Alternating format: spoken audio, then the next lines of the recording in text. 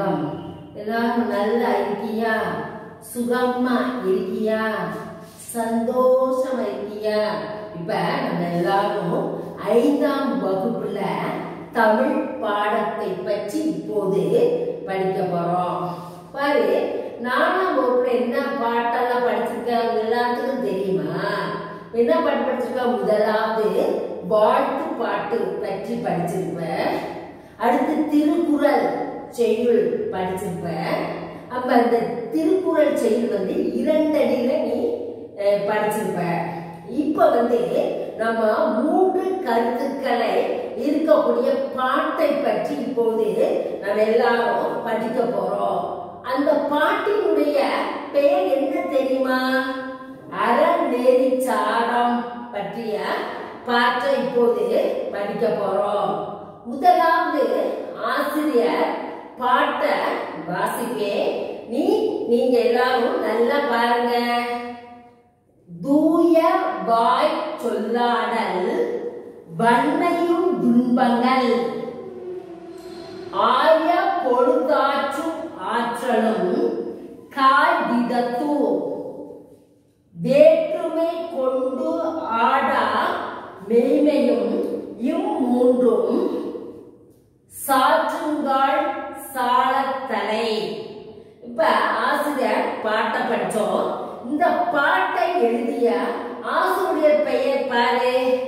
முனைப்பாடியார் இந்த பாடலை எழுதிய ஆசிரியர் பெயர் முனைப்பாடியார் பாப்போமா ஆசிரியர் குறிப்பு பற்றி இப்போது பார்க்க போறோம்.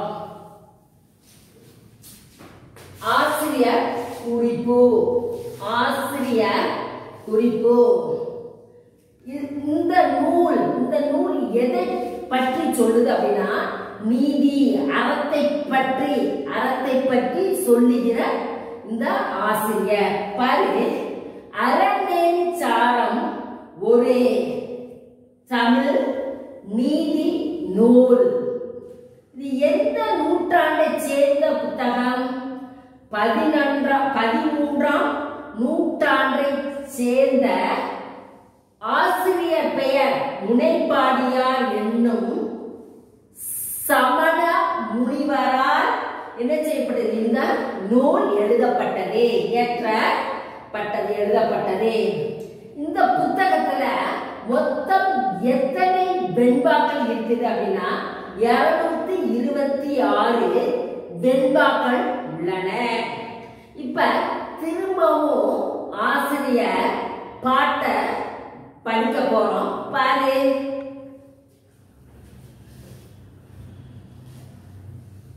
தூய வாய் சொல்லாடல் வன்மையும் துன்பங்கள்.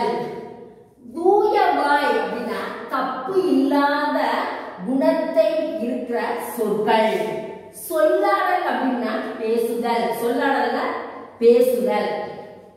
வன்மைன்னா என்னது? ஆற்றல். வன்மைனா ஆற்றல். துன்பமா என்னது? கஷ்டங்கள்.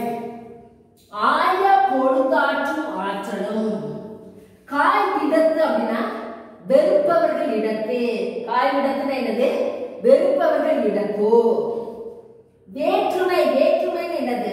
பகமை. வேற்றுமை என்னது? பகமை கொண்டு ஆடா மென்மையும் இம்மூன்றும்.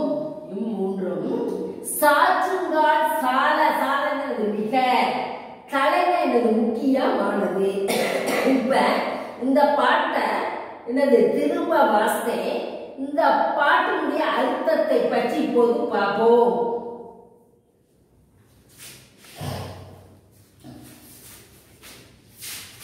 பாட்டினுடைய அர்த்தம் என்னன்னு பாரு. குற்றம் இல்லாத தவறு தவறு செய்யாத நல்ல சொற்களை சொற்களை பேசுதல் கூறுதல் கூறுதல். துன்பங்கள் ஏற்படும் போது அவற்றை தாங்கிக் கொண்டு தாங்கிக் கொள்ளும் ஆற்றலுடைய ஆற்றலாக இருத்தல். தம்மை வெறுப்பவர்களிடத்து பகமை இல்லாது கொள்ளாது பகமை இல்லாது உண்மையான நிலையில இருத்தல். இந்த மூன்றும் முதன்மையான குணங்கள் ஆகும் பண்புகள் ஆகும். முதலாவது என்னது? குற்றமில்லாத நல்ல சொற்களை பேசுதல். இரண்டாவது துன்பங்கள் ஏற்படும் போது அவற்றை தாங்கிக் கொள்ளும் தாங்கிக் கொள்ளும் ஆற்றலுடன் வலிமையாக இருத்தல். தம்மை வெறுப்பவர்களிடத்து என்னது? பகமை கொள்ளாது உண்மையான நிலையில இருத்தல். இந்த மூன்றும் ஒரு வ- ஒரு மனிதனுக்கு இருக்கக்கூடிய பண்புகள் ஆகும் இந்த பாட்டினுடைய அர்த்தத்தை பற்றி படித்தோம் இந்த பாட்டினுடைய அர்த்தத்தை நீ திரும்பவும் பயிற்சி செய்து படித்துட்டு வர வேண்டும். சரியா? தேங்க்யூ